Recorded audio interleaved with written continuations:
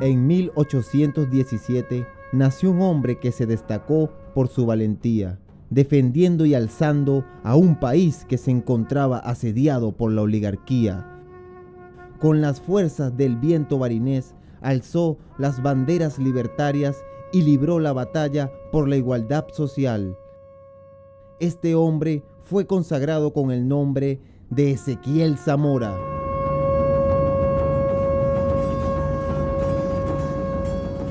La guerra de la independencia estaba en pleno apogeo. Sus padres formaron parte del ejército libertador.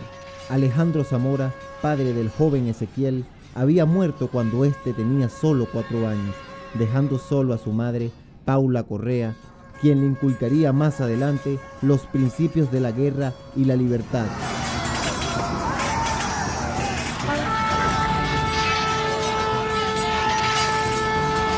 Contagiado de las ideas liberales que habían ido propagándose por Europa y América desde la Revolución Francesa, Ezequiel Zamora se estableció en Villa de Cura, en el estado Aragua, donde formó parte del Partido Liberal. No le faltaban la bravura, la constancia y la firmeza de convicciones.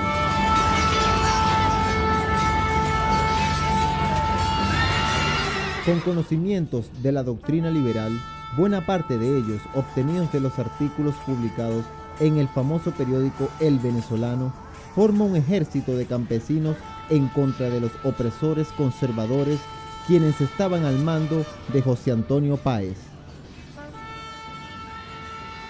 Ezequiel Zamora, general del pueblo soberano, libró junto con la fuerza popular varios combates saliendo victorioso, movido por su gran sensibilidad y ética moral, y sobre todo con una consigna que duraría hasta nuestro presente.